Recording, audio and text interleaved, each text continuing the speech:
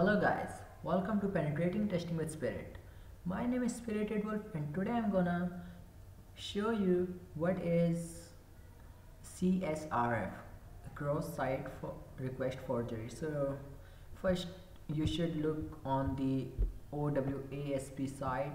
It's the top 10 attack of the OWASP. So as you can see here cross-site request forgery is an attack that focus an end user to execute unwanted actions on a web application. So with this attack if the victim is the administrative account CS CSRF can compromise the entire web application. So let me show you how it work. So I got the DVWA lab on my local host. So now let me the password is the username is admin and the password is password. So now let me copy this. Copy and then let just paste it here and then log in.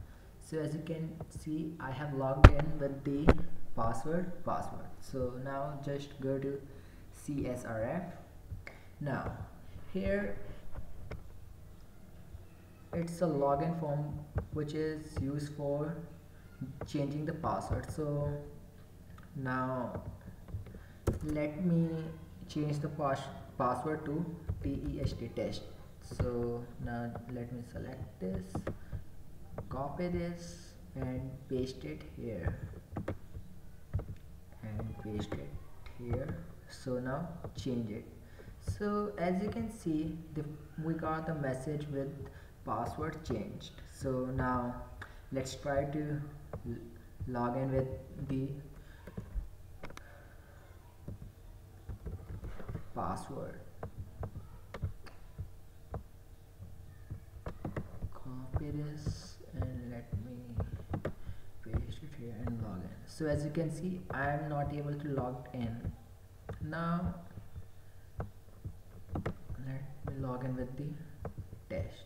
So now test and log in. So as you can see I have logged in with the test password that we have changed from right here. So now let me again change the password to um, spirit just copy this copy and paste and paste it here and then just change it again. So as you can see we have again changed the password. So now as you can see we got this message. So now let me show you how it work. Now just go to the source page of the web application. Then you can see the form right here. Change your admin password. So let me copy this and paste it on to the new notepad it's actually leafpad in Kali Linux. Now let me just paste it here. So as you can see we got this. So now just save it on the desktop with the name um, like test dot html and then just save it. And then go to the file where you have saved it mine is here test.html then just open it with your browser. So we got the login form. So now again let's try to change the password. Uh, like now this time spirited. Now copy this and paste it here and again paste it here and change. So as you can see we have changed the password and again it's showing the showing us the same URL code. So now here is the vulnerable part. So now just copy this entire thing before the message come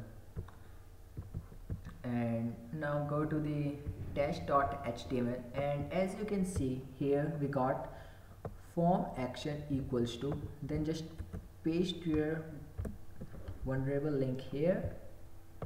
So now it will redirect to this page and then it will run this query after this. So now the method is get and then the new password. So input password password we have to input the password autocomplete off and name is password new. So now after this just let's try to play with it.